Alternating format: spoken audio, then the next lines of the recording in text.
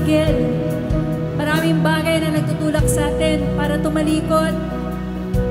Maraming bagay o pagkakataon that tempts us to stop believing and to start doubting all the promises that we read in the Bible, all the promises that we hear from the platform, from the pulpit.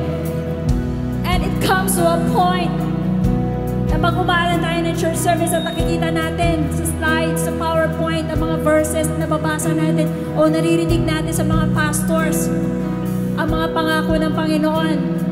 Sa kabila ng ating pag-iisip, inisip natin, totoo pa ba yan? Mangyayari pa ba sa akin yan?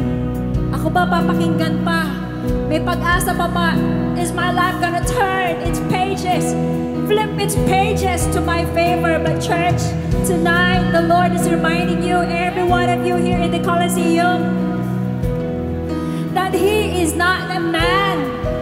And like a man, a man lies. To a man, a yes becomes no.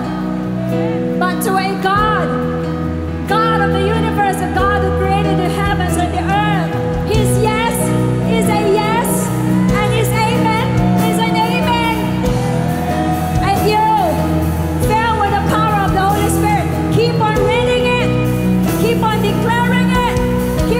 listening to